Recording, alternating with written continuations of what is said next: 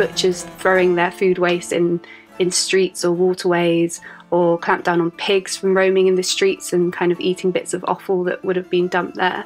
The butchers have to make contracts with leather makers so that, or the other way around, so that they can collect this leftover animal product. But yeah, it's it's a very messy history.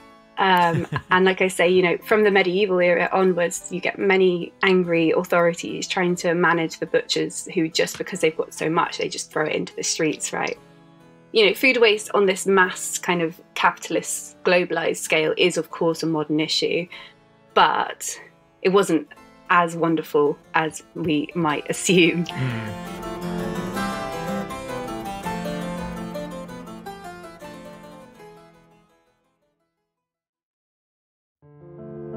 Refrigeration, frozen food, canned food, all this on our fingertips.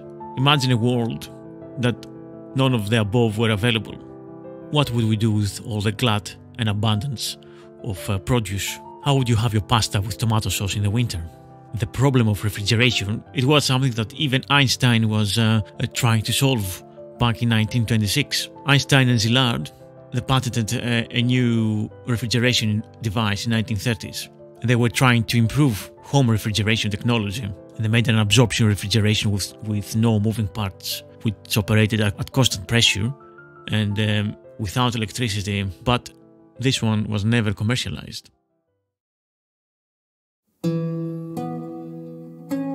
Hello, my name is Thomas Ntinas, and this is the Delicious Legacy Podcast. Welcome back to another food adventure through space and time.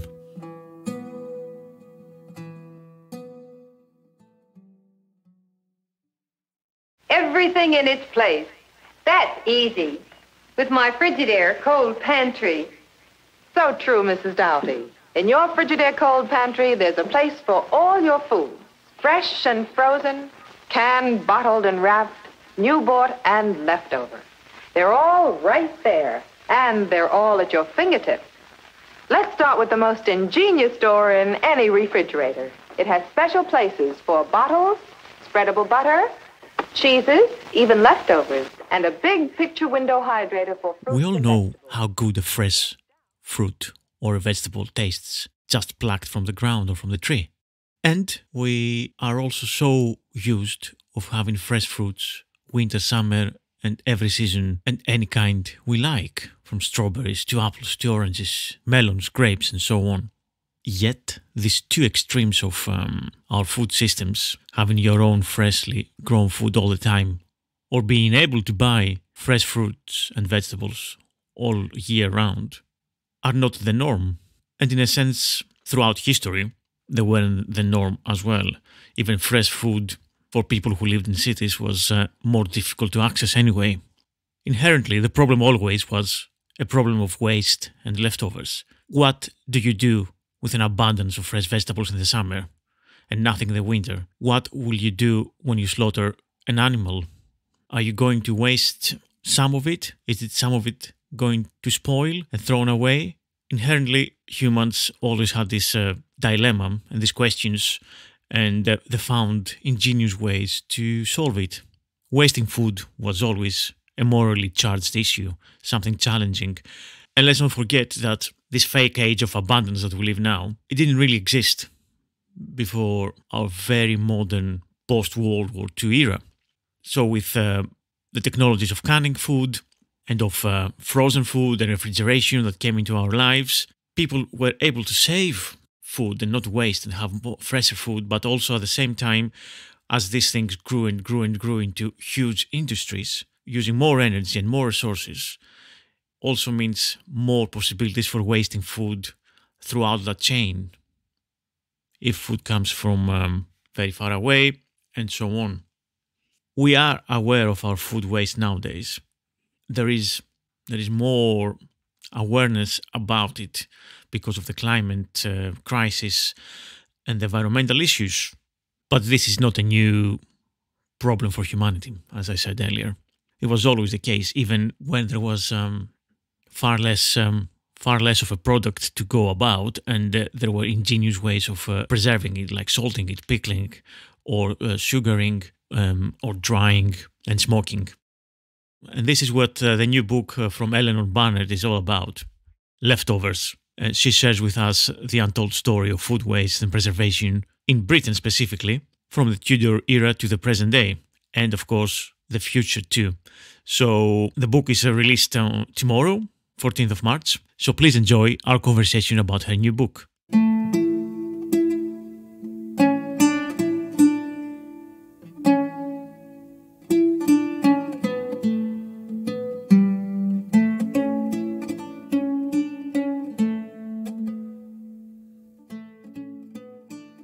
Dr. Eleanor Barnett, welcome to the Delicious Legacy podcast. Thank you. Thanks for having me. Uh, it's very good to have you here. Tell us a little bit about um, yourself. Who are you? What do you do? And um, how did you get involved with food history?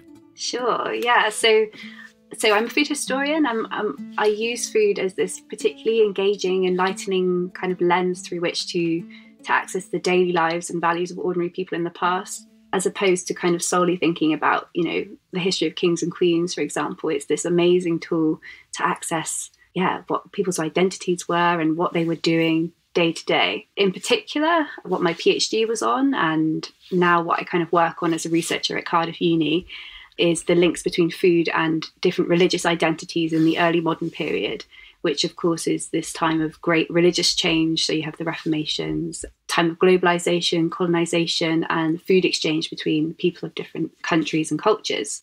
Um, but my second area of expertise and what my new book, Leftovers, is all about is the history of food waste and preservation. Brilliant. Thank you. So, Eleanor, tell me a little bit about uh, your new book. What is it about? Yeah, so Leftovers looks at the many ingenious ways that people in the past have sought to prevent food from going to waste in Britain. So, thinking about how they've done that through preservation, using up leftovers in creative new dishes, and then recycling or reusing the food scraps that they ended up not eating. So, asking how food waste has been understood in the past and why people wasted food. And in doing so, I end up exploring a whole range of themes that we can talk about, you know, from religious belief, food and gender divisions, wealth and inequality, and yeah, of course, of climate change and um, environmentalist movements. Mm, lovely. That makes um, a lot of um, sense because we as a species, generally, not only in this country, but um, we forget that um, our very much abandoned phase of food is very modern. It's very recent, like after World War II, and especially the last 40 years or so. Uh, before that, there was always a, a fight between feeding and uh, constantly uh, trying to find new sources of food and preserving the food in many different ways. Even up to the 20th century, really. Um, like, we forget how recent the whole thing is, to be honest. Yeah. I mean, yeah, the I think we maybe had a, a taste of what life could be like in the pandemic, uh, or what life was like for some people in the past, and we all started not wasting as much food. But interestingly, I think very quickly after the lockdowns, we then went back to our previous levels of food waste. Mm. So perhaps that says something about human nature. Okay. yeah. I thought it might have been a little bit better, but clearly not. yeah, because during lockdown, we basically there was shortages, right? For many many reasons, yes. of course. Yeah. So people made their own bread. Um, they're trying to buy flour and make sourdough. They did their own cakes. They tried to do a lot of preserves and stuff. Yeah. Okay. Yeah, and I think people just valued food more because we had less access to it. You know, it was a shock when we went to the supermarket and there were limits on certain items. Yeah uh, or some things we just you just couldn't get anymore. And lots of people ended up growing their own food as well. You know, even if just on a on a windowsill in a window mm. box, that sort of thing. We very quickly went back to kind of modern life and all the sort of rushing around and commuting and. Um, things that mean that we just don't have the time or the mental energy really to think about food and food waste unfortunately true that's true so I mean, food waste is a pretty much um, interesting topic in itself, but also very, very current, very, very in vogue because with what's happening in the world and climate crisis and um, food poverty and food waste. Um, so was this one reason that um, you came about writing this book? How did you come about um, thinking of uh, having a book about food waste and history? And yeah, no, definitely. So I see food waste a lot in the news. So stopping food from going ending up in the bin is obviously a huge part of the modern fight against climate change. Perhaps you're familiar with the, I think the main statistic that you kind of see thrown around is that a third of the food we produce globally today goes to waste. And if all this, yeah, it, it, really, if you think about it, that is that is crazy, right? A third. And if all of that needlessly discarded food were a country, it would be the third biggest emitter of greenhouse gases after China and the US. So it really is a huge modern day problem. And obviously, as a food historian, I started thinking, you know, how has wa- food waste been understood and managed in the past? Um, you know, how did we end up being such a wasteful society? And what might studying people's leftovers kind of tell us about our shared history, you know, and what can we learn from it? Mm. Um, and, and I was quite surprised actually that there really is very little historical research on this topic, despite the fact that it's so so pressing and topical. Right, right. I see because um, I I grew up from a family that obviously they, they were all saying don't waste your food, eat your food, and all that stuff. And um, I grew up with um, both my grandparents, uh, maternal and paternal, um, and uh, especially my grandmothers. They were always um, uh, creating food from very scant ingredients, very little stuff. And they always used to tell us stories about Second World War in Greece when um, there was uh, basically famine because uh, the German Nazis, the occupation, they were taking all the food. And I remember my one of my grandmothers saying they had just dry bread from the bran of the wheat, uh, made just that, and some um, basically sesame oil, which obviously for Greeks is not uh, it's not a good quality oil, and um, yeah, that that was it, and it was countless stories and countless days of um, of that. So their their food waste was minimal, and um, that's only like a couple of generations ago, and yet today you say about a third of all food which is uh, mental. So yeah, for for me, yeah, food waste. It's something that um, obviously I see it in the news. I'm trying not to. Yeah, I don't really have much food waste, but yeah, we we do produce a lot of food waste. Um, so thinking about previous generations. Um, I'm not so sure how how much food was wasted. I, I, I would have thought that it was very little. I suppose, like historically.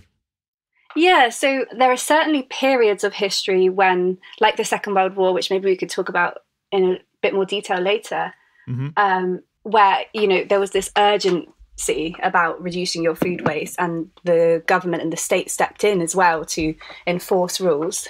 Um, but more generally, people were used to living in kind of, I suppose, within their means in a smaller food system than we are today. Mm. So, of course, today you kind of go to the supermarket and there's just endless things, right? There's endless packets, and you kind of forget that in the past, you would have had to grow your own food, um, preserve your own food, slaughter your own animals. And so when you had that kind of value behind food, you wouldn't have wasted so much. I think that's the big difference from mm. from today. But I do think a lot of people might assume that this book is going to be one that tells you to stop wasting food by going back to kind of the you know good old days, mm. um, and that's not quite what it is. So there are I kind of wanted to show that the reasons that we waste food actually still do echo throughout history. So, to take one example, if we go back to the Tudor times, kings and queens would have had access to far more food than they could possibly eat, and they would have had, you know, huge tables with big meat pies and um, endless sugar courses with sugar sculptures and all this sort of thing. And meanwhile, the poor would have been struggling and to kind of um, glean scraps from the harvest, or they, they rioted because they didn't have access to enough bread to sustain themselves. So, like today, I think when people have access to a lot of food, they tend to waste more of it, even if that's at the expense of the poor, for example. Mm, yeah, that's that's always a risk. It was always a constant risk. I mean, uh, yeah, we forget that people were always on the verge of starvation for long periods in the past, and you had to find ways when you have fresh food, fresh food will go off for various reasons, not because you're a wasteful person or a wasteful society, right? Yeah, of course. Uh, yeah, of course. The other thing is is that artificial refrigeration is a very modern thing. Um, you know, the majority of British homes wouldn't have had a, a fridge or a freezer until the late 20th century. So of course, um, it, they had to come up with other ways of making their food last longer. Um, you know, through sugaring. So if you sugar fruits um, or vegetables, you know, making pickles, fermenting, dehydrating, all of those kind of traditional ways of storing your food that we've, I think, kind of lost lost touch with a little bit. Yeah, yeah. I mean, we we still eat pickles, I suppose, and um, some preserves like jams and marmalades. But it's more like factory manufactured mainly. We we do tend to buy the stuff ready, and we have it as a complement to our uh, myriad of uh, fresh food and uh, selections from supermarkets and so on, right? Uh, so basically, preserves such as pickles and jams were quite um, significant amount of calories and foods in the past was one of the part of the of the diet. Yeah, definitely. It would have been, and not just pickles and preserves, but things like cheese. We forget that cheese yeah. is a way of preserving milk. So lots of the kind of everyday foods were actually preserves. I I mean, even butter is a way of preserving milk if you think about it. Mm, Yeah, and of course, um, until you know relatively recently in our history, food was grown locally, and you had to be reliant on the seasons. Um, Yeah. So you just wouldn't have thought that you could get fruit throughout the winter, right? So it was an important part of, for example, in the Tudor era, it was sort of wealthy uh, gentlewomen. A big part of their sort of ritual year, I suppose, was um, collecting the fruit in fr- from their orchards or, or gardens from the autumn and then preserving them in sugary preserves so that they could have those amazing flavors throughout the winter period. If you were poorer, or you might have had like a kind of a pig, a cottage pig, yeah, and you would have slaughtered that in the autumn and then you know eaten what you could then but you would have preserved things in brines um, you know even preserve the bones so that you can use them later Mm. Um, so, in your book, um, how far are you going back, um, trying to find um, history of food waste? What what's uh, the periods you're covering? yeah so it's a big history it starts off um, in the tudor kitchen Mhm. uh, and it goes all the way to the present day um, Mm. so you know we're going through um, industrial revolution agricultural revolution the victorian era the pandemic as well recently the world wars and then i kind of end by thinking also about the future of food as well I see, I see. Yeah. Obviously, the main part of preserving in the past and not wasting food was pickles, and that's part of your first um, chapter in the book. So we were talking about pickles and salt and cheese and all these um, all these uh, different um, preserves. And then um, on the second chapter, uh, you're talking about um, Mackerel, skins and entrails. That's that's the title of the.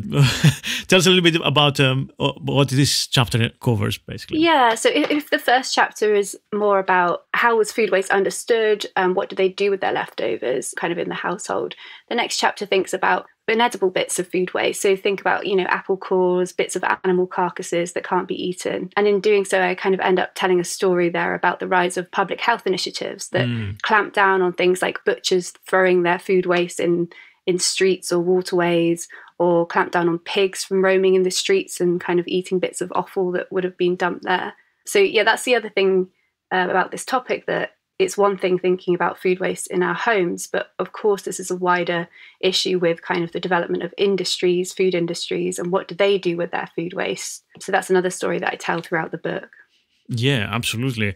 Which we yeah we're gonna check um, a little bit later on, and um, yeah you, for, you forget obviously um, as a as a person as a reader as a, someone who cooks every day we forget okay one thing is to preserve stuff another thing is to eat all our fresh food or share it equally and so all that but also all the inedible stuff that's left over so they are part of. Uh, a system that can be good one, like using all these uh, remains, or it could be wasteful. And um, I believe in the past, um, this was more of a, like you could use the skins, or as you said, the bones earlier on, or you could make um, uh, shoes and clothes and all that stuff. But as this um, process kind of uh, went away from the home, from the small artisanal industries, and went to bigger and um, more industrial uh, size with thousands and thousands of animals being slaughtered every day, then this uh, basically waste, what happens to it? I mean, do we know? I mean, is this used or is it been just thrown away and that contributes to all this uh, environmental mess and to the food waste that you're talking about?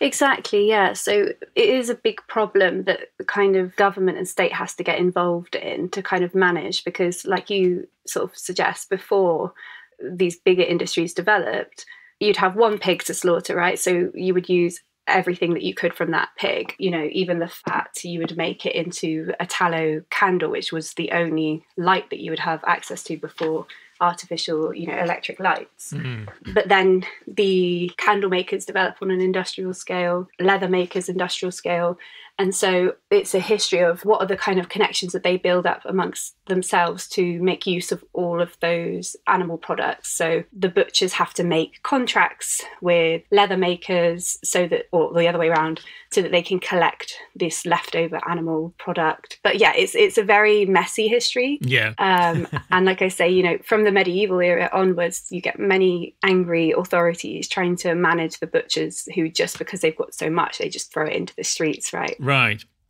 So basically, as a civilization, as a society, we were always a bit messy and wasteful, um, one way or another, really. There's no rose tinted glasses that the past was better.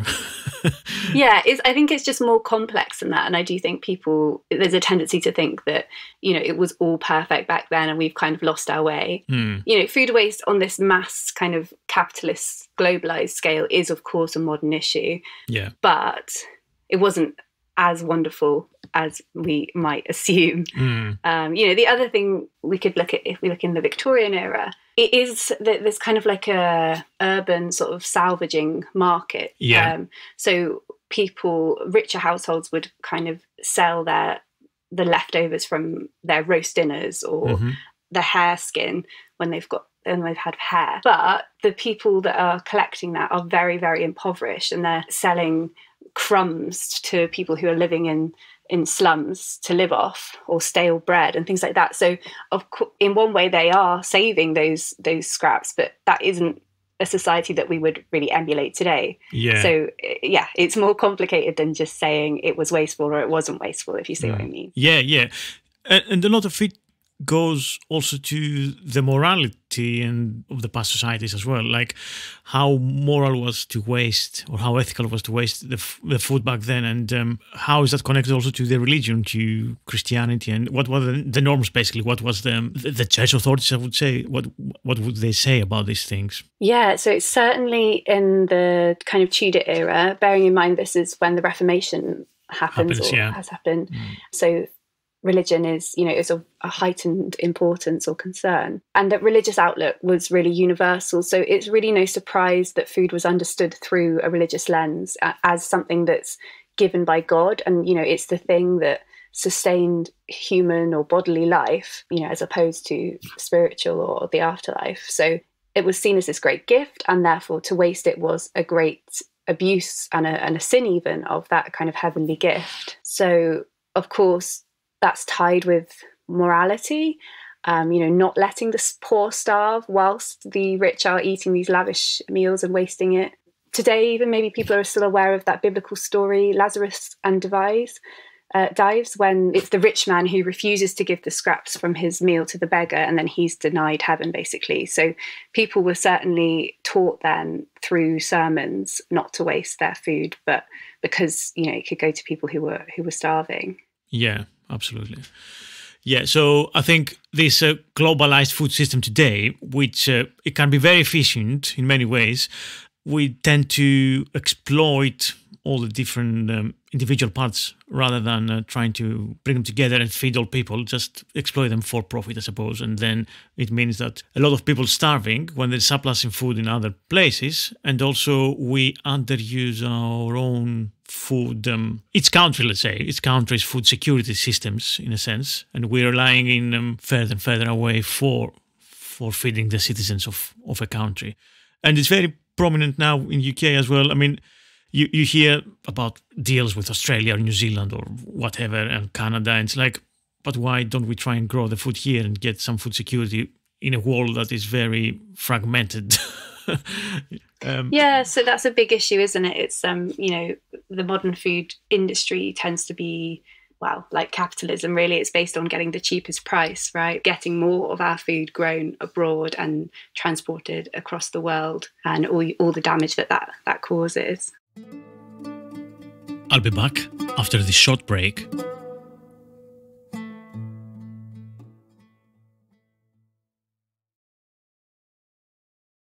Mm. Uh, I mean, let's talk about this um, later on. Let's so let's um, let's go back a little bit again. So the next chapter talks about um, the invention of uh, tin can, right? And we are in an, in an era of uh, industrial and agricultural revolutions, and we are kinda in the 19th century now, and on that era, we have a lot of um, people trying to invent um, a way to preserve food for longevity, I suppose, right? Yes, yeah. So I guess this chapter is really the start of that kind of cold chain, global cold chain that now gets us our food from across the world out of season. So it talks about how inventions in food preservation, one being artificially refrigerated ships, which is a, yeah a bit later in the century, and the other being the tin can, how they helped people whether that be you know explorers, colonists, you know, or, or transporters of food, travel further around the world um, and bring back food from elsewhere, and also transport our food across the world. The tin can is perhaps we don't think of it like that today. It's sort of forget that tin cans are sort of just in the cupboard, aren't they? We, yeah. we don't really think much of them, really. We don't tend to think of it as uh, our favourite food, I suppose. It's almost like emergency supply, isn't it? But mm. the tin can really revolutionised our ability to to feed sailors and travellers explorers who were you know traveling across the world because it allowed to have access to more nutritious food that wasn't heavily salted so before the, the tin can you would have had very, very dry ship's biscuit, or you would have had a very, very heavily salted meat.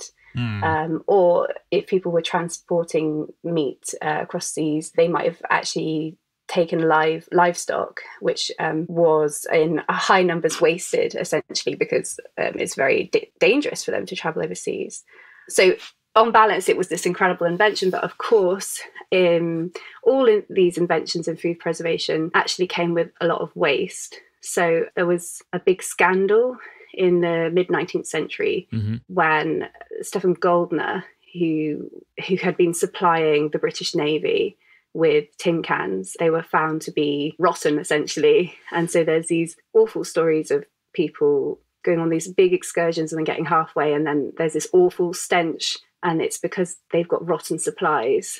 Um, yeah and of course that's you know it's essential for feeding yourself. So it was um, you know people died because of it as well. Um, so it goes to like a parliament select committee in yeah in the mid 19th century and it's a yeah big scandal. And people were because of that quite scared of the tinned food and it does take a, a, while then you know at least 50 years for it to start being sold really for household consumption. Yeah absolutely. Like it is today yeah. Yeah because i mean uh, initially i mean we think about it now more like tin tomatoes or beans and something like that but it was a lot more to do with trying to preserve meat i suppose for this long journeys they had stews and things like that in cans right? If it's not cooked properly or if it's not sealed properly and um, how do you keep the air airtight and uh, how do you cook it and all that stuff. And then um, people getting uh, poisoning food poisoning or botulism and um, yeah then you, you scare the general population. And then that's that's a very good tactic for uh, selling more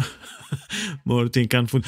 Um, yeah so it took like at least until the end of the 19th century to become more of a or even 20th century right? To become more household yeah, the start of the 20th century, really. Mm. Yeah. Mm-hmm. Well, with new techniques and new innovations on creating the cans themselves. Yeah, I suppose it's like anything; it just takes a while for those methods to be perfected. Yeah, on on the similar era, so uh, we have also the frozen food, as you as you mentioned. Um, initially, they refrigerated fridges, but then similar time, like the end of the 9th century, we have frozen food as well coming into into vogue in a sense do you remember the very first example of um, cargo traveling across the the globe from one place to bring? Yeah, so this is uh, these are experiments in artificial refrigeration in ships is is in the 1870s really, mm-hmm. and primarily it's trying to ship meat from Australia and New Zealand where they've got an excess of um, animals, especially sheep,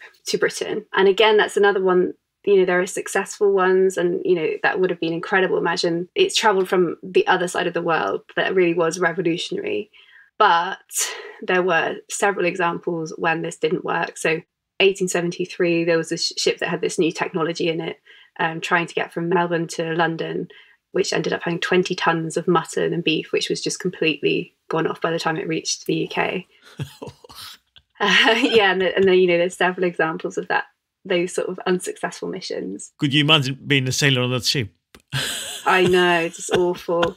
And and there's some that don't even, you know, leave the port because um, the refrigerant explodes everywhere and there's ammonia everywhere, which of course is dangerous. Oh, wow. Um, okay. yeah. So yeah, it, it, it's incredible, and again, we rely on it so much today. Not just the ships, but then there has to be refrigerated kind of areas at the port where it can be stored before it goes off to shops and, whatever. We rely on that so much, but you know, it's really quite quite a modern invention. But you know, over time in the Victorian era, this meant that people would start having access to cheaper meat that had come from the other side of the world. Mm. Yeah, we kind of think it as a given now. It wasn't at all. Roughly 150 years, more or less, that um, becomes a bit more common. For example, this advert from uh, Bird's Eye for frozen food. Uh, I mean, it's hard to imagine how much of a novelty frozen food was and how much of a difference made um, in product transported from the other side of the world and um, and how the boundaries of um, fresh and um, frozen product can be blurred nowadays. And that's the news from Bird's Eye. Seafood, frozen, fresh from the sea. This new vacuum sealed cooking pack makes it possible. Let's Bird's Eye bring you seafood this fresh with flavor this delicious. Look, filet of flounder amandine. Flounder caught off the coast of Newfoundland, filleted and quickly frozen. Then vacuum sealed, fresh. You cook it this easy. See, actually bastes itself to golden goodness. Open Seafood fresh from the sea in butter sauce with lemon and white wine. Try all five new seafood dishes from Bird's Eye. And then obviously refrigeration for the house itself, it's a later invention. Yes, yeah, oh, yeah, invented. I suppose with all these things, there's a kind of debate about who's the first to mm. invent it, but it doesn't end up in households in the UK at least until really, yeah, the end of the 20th century, which is really, really recent. Mm. Um, like yeah people who were born or who grew up you know post-war it wouldn't have been you, you know you would have um, put your milk in the, um, the pantry or it, w- it just wouldn't have been part of your your daily life. Yeah true true. Um, do we know who invented the first fridge let's say? Like i say there's a lot of debate but the first kind of commercial household fridge is 1913 i believe. Right. Um, but like i say it takes a long time for it to be actually usable within the household. Mm, yeah. Um, yeah, and there's there's loads. The story of artificial refrigeration, you know, it really does. It goes back into the Tudor era when um, they're experimenting with understanding what artificial coldness is. And there's a story of someone, a scientist who dies from stuffing a, a chicken basically with, with snow and ends up dying from uh, pneumonia. Right. So it goes back that far. And then throughout history, it's this big, big debate. And, you know, even Einstein invents a fridge at one point, which is quite revolutionary, but which isn't a commercial success. Yes, you say about that fridge, which doesn't use electricity and it doesn't use ammonia. So was yeah that was the big thing that refrigerants would leak and they were fatal. So um, he came up with a with a way essentially of not having to use those types of chemicals. But like I say, the, the type of fridge that we ended up with is, is very different. Yeah, and damn. you know that, that technology is still changing all the time. Mm. I'm just trying to imagine a fridge that uh, doesn't use electricity as we use today because it's very energy consumptive device, or leaking ammonia. And if what if that was the invention that was successful commercially? It would be a lot better for the environment as well. Yeah, interesting. Yeah. There's another thing like that, I believe. Um, yeah, with the toilets, for example, like on the 19th century when they invented the toilets and the the, the whole system, the in London, right? That um, there was a system that was supposed to have two different um, waste uh, pipes, one for liquid and one for solids. So they would be separated from the household. So you could use the, the solids for uh, manure. But that was more expensive system, and they had all the manure from the horses and the animals. So they didn't go for it, I believe. Yeah, yeah. Then obviously 20th century comes and we have cars so you don't have manure so you have to find what do you find um, nitrogen? So you have to, to invent artificial systems for that. So yeah it's kind of interesting like what what if we yeah what could have been? Yeah again yeah that has to do with waste as well. I mean we kind of very much related. So yeah at the same time with um with all these inventions and revolution and early 20th century we also have um, the wars. We have two big world wars. And you talk on your book about that right Yes. So after kind of looking at the Victorian era and that kind of um, food waste kind of economy that develops. I then go into the World Wars. So just before the World Wars, I think we were sort of becoming a bit wasteful. And then suddenly you get this block on food, and suddenly it becomes this really hugely valuable thing again. Needlessly wasting food that could have been eaten by people was actually made illegal. Rationing's introduced, of course, mm. uh, hmm. in, in both wars. And then just the way that people approach food who, who were on the at home, all leftovers were just reused, either in thrifty dishes um, things like using stale crust to coat food for, for frying, mm. things like that. Or, or you could, the food waste would have been collected to be made into non food related items for the war effort. So glycerin or extracted fat would go on to make fertilizers, um, but also glue for aeroplanes and even explosives.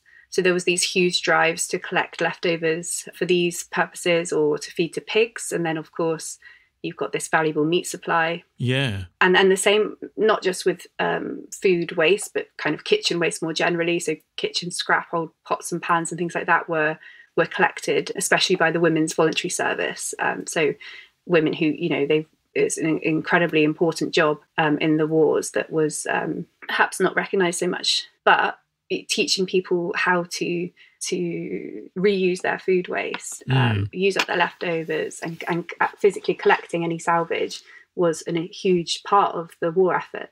Okay, yeah, we, we kind of um, know a little bit about World War II and the rationing afterwards, and we know how much um, there was a lot of um, government and state effort, people to grow their own food, dig for victory, and all that stuff. We have all that stuff, and then um, we arrive in a situation after World War II and after rationing, that um, we have seemingly a lot more abundance of food due to the industrial um, big innovations that happened and they were implemented in our food systems. And uh, obviously, coming out of the war, you don't want the, the, memories of poverty and hunger are fresh. So, yeah, there is an abundance of food. Yes, exactly. So you suddenly get this people just don't want to think about being frugal anymore. So yeah. it's this kind of hopeful era and it's led by the United States because they're the only country that come out sort of profitable from yeah. from the war, and you know they're selling this. They've got um, refrigerate fridges in their households, and so they sort of sell this idea to people in Britain and Europe of kind of abundance. Mm. And with that abundance comes uh, yep waste. comes waste, definitely. Yeah. In your book, you then kind of going uh, into that era to the new era when we your chapter is called McDonald's punks and food mm. anarchists. What can you tell us about that um, era? Yeah, so that chapter is really, I think, where we start recognizing the world that I'm describing. So it's the rise of um, fast food, which is wasteful in its quest to be non-wasteful, but only when uh, that's to do with profit. Right. Right. So um, they'll throw away the chickens that aren't productive, but are making yeah the high, the highest amount of profit that they can. It's also the rise of things like artificially produced um, new strains of of uh, crops, which mm. are again highly productive, but then very damaging to the environment in other ways the rise of um, use of artificial fertilizers, that sort of thing. So I kind of telling that story, the increase in waste in general. Um, so it's like I think it's 1970 by 1970, food waste had doubled from pre World War II levels. So it really is this big boom. Um, you also get supermarkets, so people stop sort of going to the local shops to get what they need every day and start feeling like there's this endless abundance. They start hmm. shopping. Mm bigger shops, but so less often, sorry. And then, of course, they've got starting to have um, refrigeration as well, which is an amazing food um, preserver, but at the same time leads to wasteful behavior because like we do today you can kind of just fling it in the fridge and you almost forget about it yeah um, you think it's kind of got endless shelf life which it of course hasn't So I'm, I'm tracing that kind of the rise of, yeah, this kind of modern, mass produced, globalized food system. Mm. But at the same time, it's about the countercultural movements that emerge to fight this. So there's the new environmentalist movement, which begins in the 1970s, which is trying to draw people's attention to the damages of these new crop strains that are, you know, highly dependent on um, these fertilizers and, and, and other pesticides, pesticides, insecticides, other chemicals and the damage that that does, and ultimately the waste that produces in its quest to be non-wasteful. If you see what I mean? Yeah, yeah, uh, yeah. Punks as well. People who go uh, sifting through dustbins to find uh, leftover food. So yeah, it's the tale of both that accumulation of food waste and also our fight against it in the modern era. Yeah, they they kind of uh, emerge at the same time. yeah, yeah, almost, yeah. Yeah, yeah. You have the counter movement on this um, continuous uh, food waste and uh, this abundance that seems to be almost excessive. You have all these movements coming out of that, trying to to say, okay, that's not um, sustainable the long term. And um, yeah, talking about pesticides and insecticides and all that. I mean, that's a very important subject. Um, I mean, throughout humanity, um, the food was wasted even before went to the table. of of, uh, of of humans, right? I mean, you had all these pests whenever you had a farm and uh, you were growing whatever you were growing.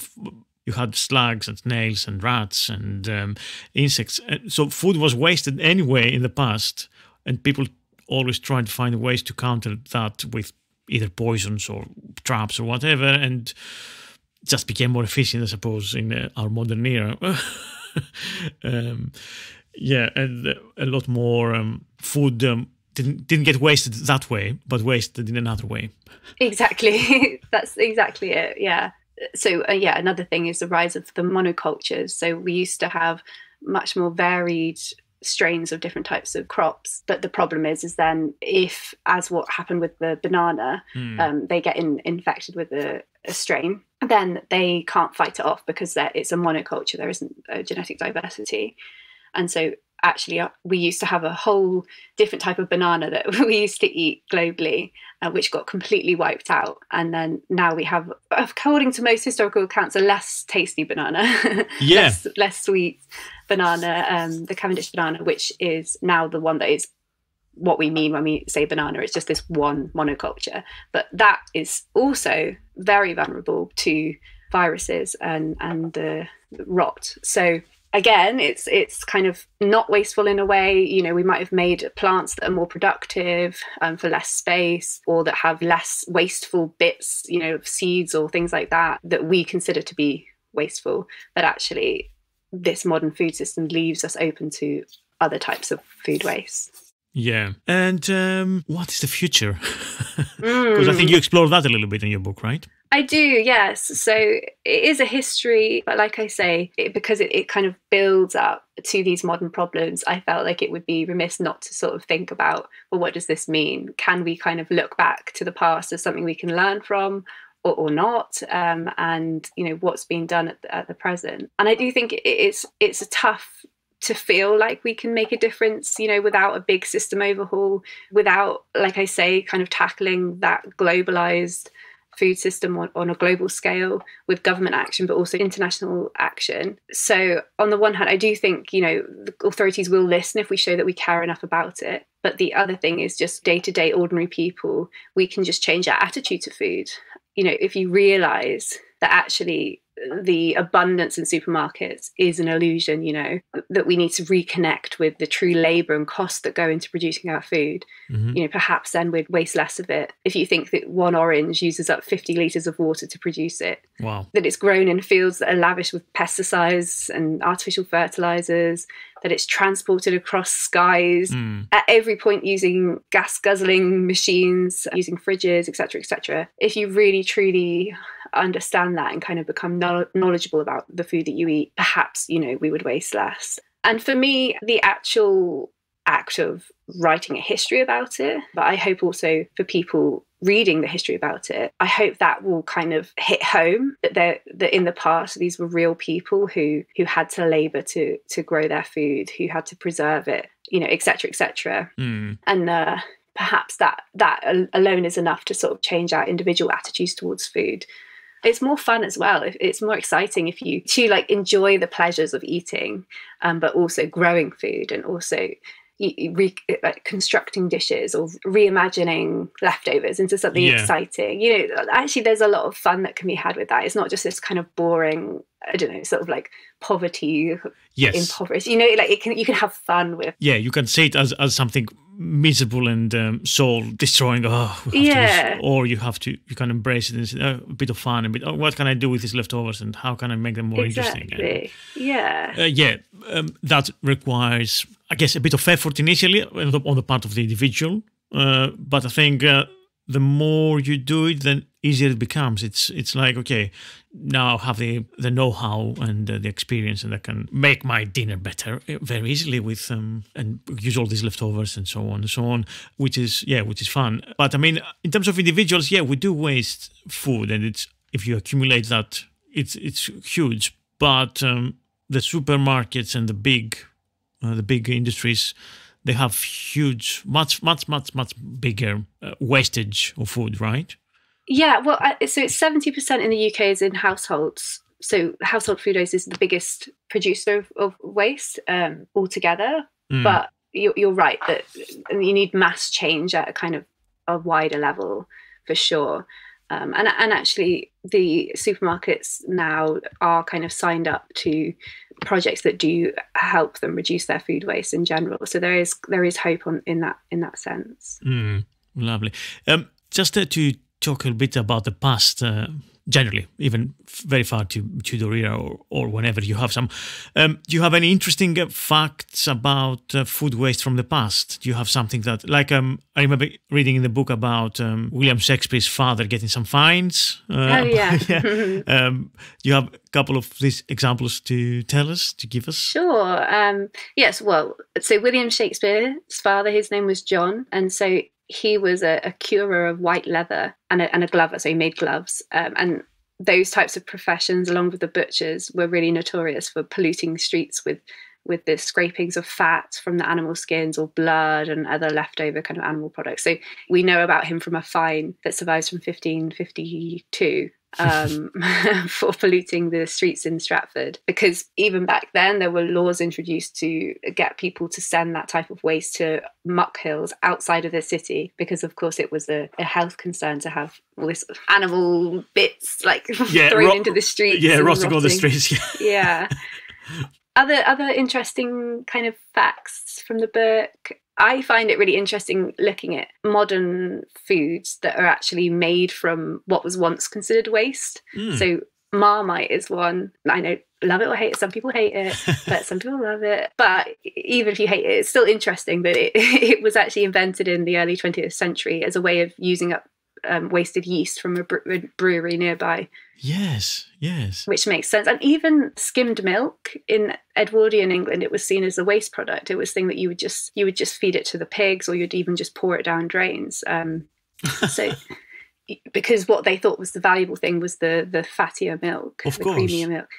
So it was only in World War II actually that was kind of accepted as a drink in its own right so yeah, I find that fascinating. Yeah, that's very interesting because yeah, yes, nowadays same skimmed and skimmed milk is everywhere. But yeah, and if anything, we value it more, right? Because we're more conscious of, of, of, health and we think it's healthier for us.